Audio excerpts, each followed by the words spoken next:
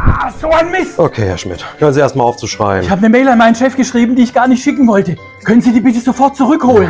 Wann haben Sie die E-Mail denn versendet? Am Montag. Das war vor vier Tagen. Er hat sogar schon geantwortet. Ja, aber so habe ich es doch erst erfahren. Und was soll ich Ihrer Meinung nach jetzt tun? Sein Gedächtnis löschen?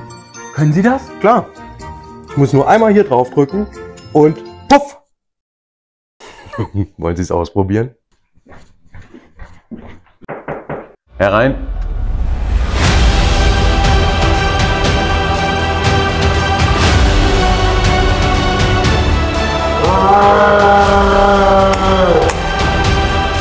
Schöner Kugelschreiber, Herr Schmidt.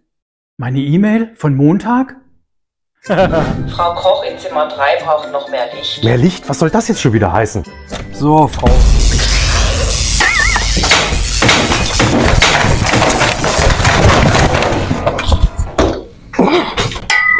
Bild meiner Webcam ist zu dunkel. Ich brauche mehr Licht. Okay, haben Sie denn schon...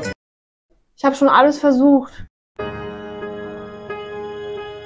Okay, Frau Koch, Sie haben ja wirklich schon tolle Arbeit geleistet, aber ein bisschen mehr Licht fehlt noch. Ich meine, da drüben steht noch eine Lampe.